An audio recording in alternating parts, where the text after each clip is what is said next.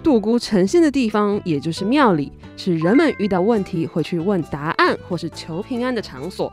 我知道啊，就像考试的时候拜文昌帝君、求桃花就拜月老嘛。像那个霞海城隍庙，不是超级多人去的吗？听说很灵哦。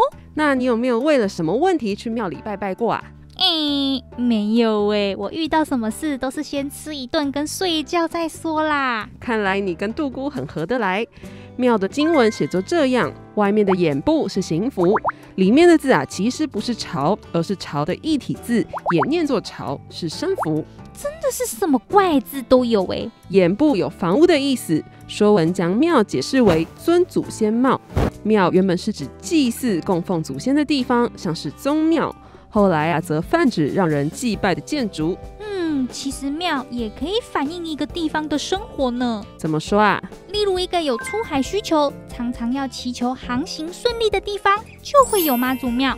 人们的生活中需要求什么，就会出现什么样的神明和庙宇。某种程度上来说，庙宇也反映了一个地方的生活形态呢。确实是这样，没错。小光，你今天很有想法耶！哈哈，我一直都是一只有内涵的大象。庙宇除了是人们祈求各种事情的地方，庙宇的建筑雕刻也是很重要的艺术风格展现。